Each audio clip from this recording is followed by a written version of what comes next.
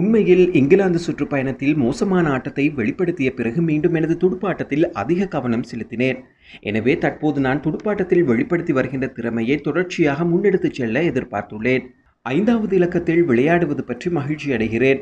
இங்கிலாந்து சுற்றுப்பயணத்தில் நான் மூன்றாவது இலக்கத்தில் களமிறங்கினேன். ஆனால் எதிர்பார்த்த அளவு என்னால் பிரகாசிக்க முடியாமல் போனது. அதேபோல் எனக்கு ஐந்தாவது இலக்கத்தில் விளையாடுவதற்காக ஒரு நிலையான இடத்தை பெற்றுக்கொள்ளுமாறு அணித்தலைவர் தசுன் ஷானுக்கு சொன்னார். அதன்படி நான் தற்போது ஐந்தாவது இலக்கத்தில் விளையாடி வருகிறேன். பொதுவாக ஐந்தாவது இலக்கம் என்பது மிகவும் பொறுப்பானதொரு இடம். எனவே இனிவரும் காலங்களிலும் ஐந்தாவது இலக்கத்தில் விளையாடுவதற்கு ஆவலுடன் இருக்கிறேன். உண்மையில் நான் உள்பட களத்தடுப்பில் எமது வீரர்கள் பல தவறுகளை விட்டார்கள். அந்த தவறை நாங்கள் ஏற்றுக்கொள்கிறோம். அதன் பிறகு கொஞ்சம் அதிகமாக ஓட்டங்களை கொடுத்து விட்டோம். அதே போல நானும் அணித்தலைவர் தசுன் ஷானக்கும் இணைந்து துடுப்பாடி கொண்டிருந்த பொழுது நல்லதொரு இணைப்பாட்டம் ஒன்று கட்டி எழுப்பப்பட்டது. எனினும் மழையினால் போட்டி தடைப்பட்டு மீண்டும் ஆறு ஓவர்கள் குறைக்கப்பட்டதனால் இருபது ஓட்டங்கள் குறைக்கப்பட்டது. எனவே அதுவும் எமக்கு ஒரு பின்னடைவை கொடுத்துவிட்டது ஆனால் பொதுவாக கிரிக்கெட் விளையாட்டில் அவ்வாறான சம்பவங்கள் நடைபெறுவது சாதாரண விடயம். எவ்வாறாயினும் இந்த போட்டியில் தென்னாப்பிரிக்க அணி சிறப்பாக விளையாடியது.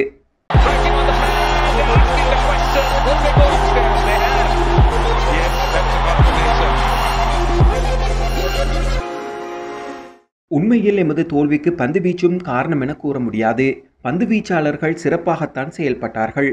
ஆனால் நான் உள்பட எமது வீரர்கள் களத்தடுப்பில் தவறிழைத்தோம். நாங்கள் துடுப்பாட்டம் பந்து வீச்சில் தவறிழைத்தாலும் களத்தடுப்பில் தவறிழைப்பது ஏற்றுக்கொள்ள முடியாது. உண்மையில் தற்போது எமது அணியில் பல இளம் வீரர்கள் உள்ளார்கள்.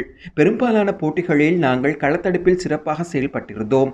ஆனால் இந்த போட்டியில் நாங்கள் கொஞ்சம் தவறிழைத்து விட்டோம் எனவே அடுத்த போட்டியில் அந்த தவறுகளை திருத்திக் கொண்டு விளையாடுவதற்கு எதிர்பார்த்துள்ளோம். முதலாவது போட்டிக்கு கொடுக்கப்பட்ட அடுகளத்தை விட இரண்டாவது போட்டியில் சற்று மந்தமாக காணப்பட்டது. ஆனால் நாங்கள் துடுப்படுத்தாடிய போது மழை பெய்ததனால் ஆடுகளத்தில் பந்து சுழல்வது சற்று குறைவாக இருந்தது. எவ்வாறாயினும் மழை காரணமாக போட்டி நிறுத்தப்பட்டதால் எம்மால் அதன் பிறகு எதிர்பார்த்த அளவு ஓட்டங்களை குவிக்க முடியாமல் போனது.